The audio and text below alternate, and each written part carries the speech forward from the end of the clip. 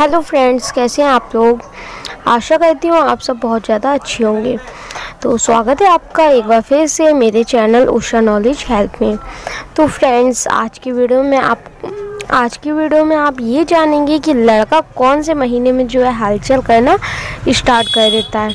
और आज की वीडियो में आप ये भी जानेंगे कि बच्चे की जो हलचल है तो हलचल से पता लगाया जा सकता है कि होने वाला बच्चा जो है वो बेबी बॉय होगा या बेबी गर्ल होगा।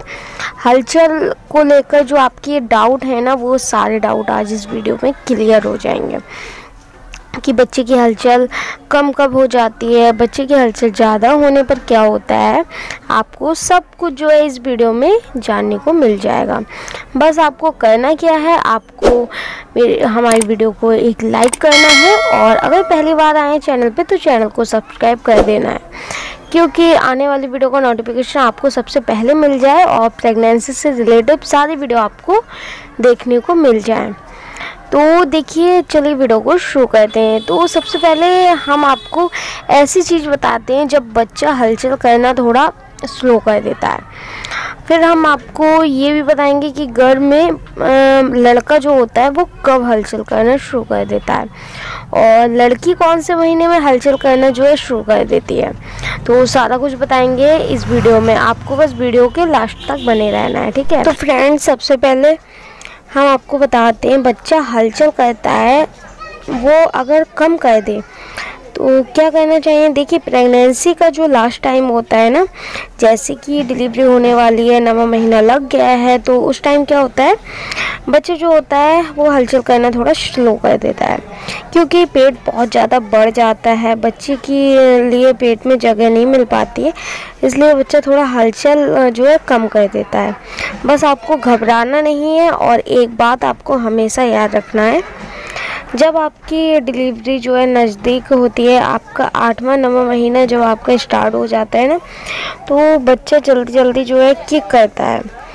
और जब बच्चा किक करता है तो वो बहुत तेज़ी से करता है। आप फील कर सकती हैं, उसका सिर कहाँ है, मुँह कहाँ है, पैर कहाँ है, इतनी तेज़ी से मूव करता है, इतनी तेज़ी से जो है मूवमेंट होती है बच्चे की। तो आपको घबराना नहीं है लास्ट टाइम आपको थोड़ी स्लो हो जाती है, पर जब भी वो करता है ना तो बहुत तेज़ करता है ओके अब मैं आपको बताती हूँ, काफ़ी बार क्या होता है, बच्चा जब हलचल करता है तो गर्भवती माँ जो होती है, बहुत ज़्यादा घबरा जाती है। तो ऐसे में आपको जो है घबराना नहीं है। देखिए, अगर आप को ऐसा लग रहा है, आपका बच्चा जो है वो हलचल नहीं कर रहा है।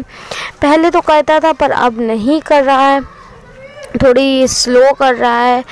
या फिर नहीं भी कर रहा है तो आप थोड़ा सा मीठा खा के देख सकती हैं। अगर आपको डायबिटीज़ है तो आप मिठाई जो है, बिल्कुल भी मत खाइएगा।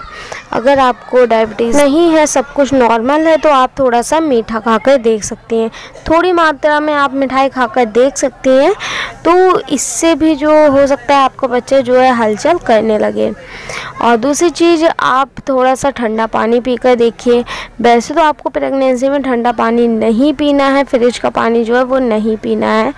पर आप टेस्ट के लिए थोड़ा जो है पी सकती हैं, जिससे कि आपका बच्चा जो है वो मूवमेंट करने लगे। बस आपको थोड़ा सा पानी पी के चेक करना है।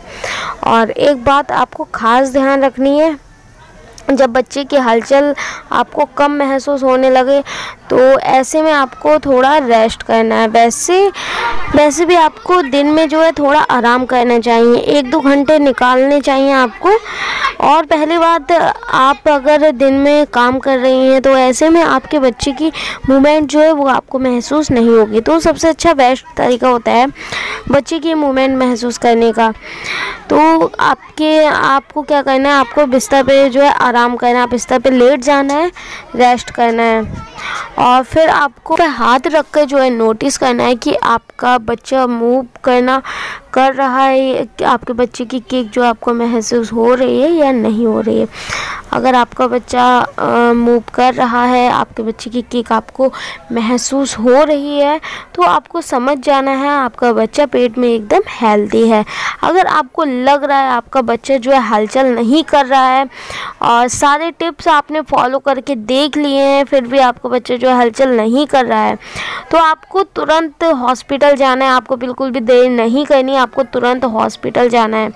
अब आपको मैं एक बात बता दूँ अब आपको मैं ये बताती हूँ कि मोमेंट से आप हलचल से कैसे जान सकते हैं कि होने वाला बच्चा जो वो बेबी बॉय होगा या बेबी गर्ल होगी।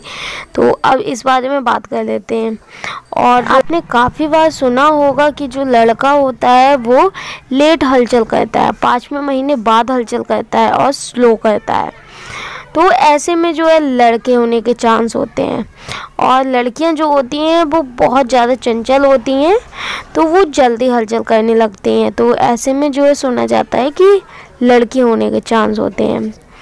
आपका बच्चा ज़्यादा लेट हलचल कर रहा है, बच्चे की जो हलचल है रहती है, वो कम रहती है तो लड़का होता है। और एक बात आपको पूरी तरह मैं क्लियर कर दे रही हूँ कि आप हलचल से बिल्कुल भी अंदाज़ा नहीं लगा सकते हैं कि होने वाला बच्चा जो है वो बेबी बॉय होगा या बेबी गर्ल होगी।